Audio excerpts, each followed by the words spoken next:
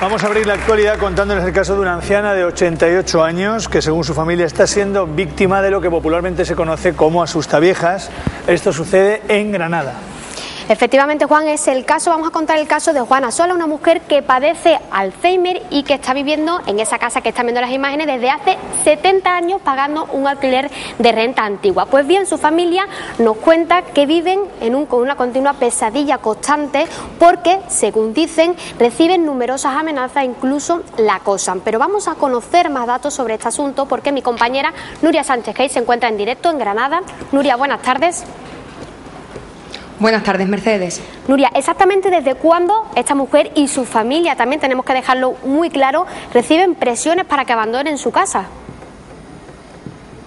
Pues los problemas comenzaron en 2005, hace ya seis años, cuando presuntamente una inmobiliaria compró todo el edificio donde se encuentra la casa de Juana. En ese momento, Juan y su familia no llegaron a un acuerdo con esta inmobiliaria y desde entonces comenzaron los problemas, comenzó la pesadilla, porque de vivir en una casa normal han pasado a vivir rodeados de escombros y de suciedades. Nosotros estamos esta tarde con Juana y también con sus hijas. Hoy Juana no nos va a poder contar cómo lo está pasando porque ella padece una enfermedad de Alzheimer en un estado bastante avanzado. Van a ser sus hijas que están aquí. Ella también lo están pasando muy mal. Buenas tardes, Angustia.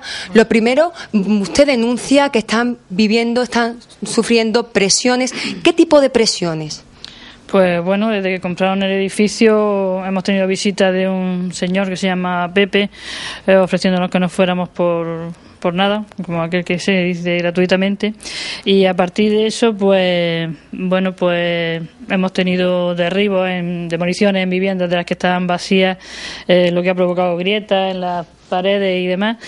Eh, el, parte de la cubierta se cayó también hace un par de Navidades, esta Navidad no, la pasada, y tampoco han solucionado nada, entra agua de la calle. Eh, bueno, y ya lo último, el sábado, pues se nos colaron unos romanos que curiosamente tenían copia de la llave del portal, no sabemos muy bien cómo llegó a sus manos. Y, bueno, eso provocó por encima malos olores. Y en fin, pues hemos pasado de vivir en una casa que se vivía bien y muy cómodamente a, pues eso, a estar rodeado de, de escombros y demás. En 2005 se lleva a cabo la compra de este edificio. ¿Por qué no se llegó a un acuerdo? Otros inquilinos llegaron a un acuerdo. ¿Por qué no se llegó a un trato con su madre? Pues debido a su enfermedad. Los dos médicos determinaron que no era conveniente sacarla de su entorno porque para su enfermedad era peor y entonces nosotros pues era, lo que queríamos era lo mejor para nuestra madre. Ahora, Angustia, la situación de su madre ha cambiado y si estáis proponiendo algunos acuerdos con la inmobiliaria, ¿qué proponéis y ellos qué os dicen? Bueno, ellos desde hace varios años nos han propuesto pues que buscáramos pisos para que, porque es lo que queríamos simplemente cambiar aunque sea de piso, pagando la misma renta porque ella tiene una pensión pequeña y bueno, nos decían que sí que viéramos pisos, pero nunca llegaban a ningún acuerdo, no se cerraba ninguno. Entonces ya como la enfermedad avanzó y ya realmente el entorno, salvo que porque tiene el centro de día aquí cerca, el entorno era un poco más relativo, pues ya lo único que pedíamos era hicimos un cálculo de un alquiler, una media de un cinco o seis años, más los gastos que nos había supuesto y que nos está suponiendo de abogados, de peritos, eh, en fin, eh, muchos gastos y... Em, y bueno, y se había pedido una cantidad que tampoco era que fuese excesiva, se estaba rondando unos 55.000 euros, una cosa así. Y eh, desde julio nos están dando vueltas con que sí, tampoco cierran nada. Y bueno, y ya en la última reunión que hemos mantenido nos han dicho que no, que no piensan pagar nada, que no piensan hacer nada y, y todo lo contrario, que si pueden perjudicar, pues cuanto más mejor. Angustia, una situación complicada. ¿Cómo la está viviendo la familia? ¿Cómo lo está llevando? Hombre, ella al principio mal, porque mm, hombre se enteraba un poco de de la situación, pero ahora ahora somos nosotros los, los más afectados. Es complicado para Angustia contar esto porque lo está pasando muy mal, Juan. Buenas tardes, incluso al decirlo. Tranquila, Angustia. Yo comprendo que es terrible. Hemos visto el estado de la casa. De hecho, me parece que, incluso has tenido que recurrir a tomar en algún momento medicación para poder soportar esta situación. Eh, su madre ya no es consciente de lo que sucede alrededor que hasta cierto punto, en ese sentido, pues mira, algo bueno tiene el hecho de no estar sufriendo esa, esos olores y ese miedo a encontraros que me consta se ha encontrado en, en las zonas comunes con gente desconocida que os ha amenazado incluso. De manera que. Sí, hace. Hace un par de sábados, sí, estuvieron unos rumanos y me amenazaron con que mm, yo ya no iba a vivir más aquí y demás y tuve que denunciarlo en la policía. Hemos dicho, tengo una denuncia puesta, sí. ¿Son ustedes los únicos vecinos afectados? ¿En qué medida lo son si hay otros? Sí, hay otros. Hay tres o cuatro vecinos. ¿Tienen previsto emprender acciones legales de acuerdo con ellos? ¿Lo van a hacer? ¿Se van a enfrentar a esta situación solas? ¿Qué van a hacer?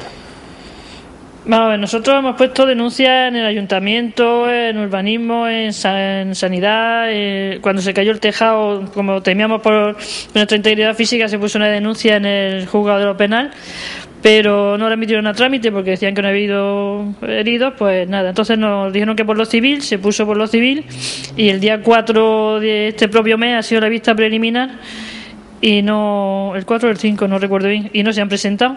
Y eh, la denuncia y la el juicio será el día 4 de octubre. Y fuimos a hablar con ellos cuando entraron los romanos aquí para bueno pues para contarles lo que había pasado y nos dijeron que daba igual que, que no iban a denunciar que no iban a hacer nada y que nos olvidásemos de acuerdos porque no que con la crisis ellos no podían ahora pero tampoco hacen nada que no tenían dinero ni para tapiar la puerta eh, pero sí tuvieron para, para derribarlo. Pero ya está que no piensan es más nos amenazaron con que cada vez que quisieran vendrían a romper puertas a patadas o sea que de hecho lo hicieron eh, Nuria, está claro que esta familia necesita una solución y cuanto antes además ya lo estamos viendo en las imágenes y por todo lo que nos están contando, pero nosotros como siempre hacemos en estos casos nos hemos puesto en contacto con el ayuntamiento y ¿qué nos dicen Nuria? Pues sí, nosotros hemos hablado con el Ayuntamiento de Granada que está haciendo un poco de mediador ante este nuevo dueño y los vecinos que siguen viviendo en este inmueble. Ellos nos dicen que mandaron a los técnicos de la Delegación de Urbanismo y que ellos hicieron diversos informes y que con estos informes se les mandó al dueño unas órdenes de actuación que ellos llevaron a cabo las que eran más leves y sin embargo la orden general de actuación que se la dieron en 2010 pues que no la ha llevado a cabo y que por eso ellos le han puesto una multa de que pague el 10% de la cuantía que los técnicos de urbanismo dicen que llevaría el arreglo de esta vivienda para que se pueda vivir en ella. Es lo único que puede hacer el ayuntamiento. Nos dice que seguirá mandándole estas multas y que por el tiempo, mientras que él no arregla este, este edificio, pues tendrá que estar pendiente de que no haya una situación extrema, que sería la única que ellos podrían obrar, pero de oficio. Pues muchas gracias Nuria y gracias a esas señoras que nos han atendido tan amablemente para darles esta información en directo desde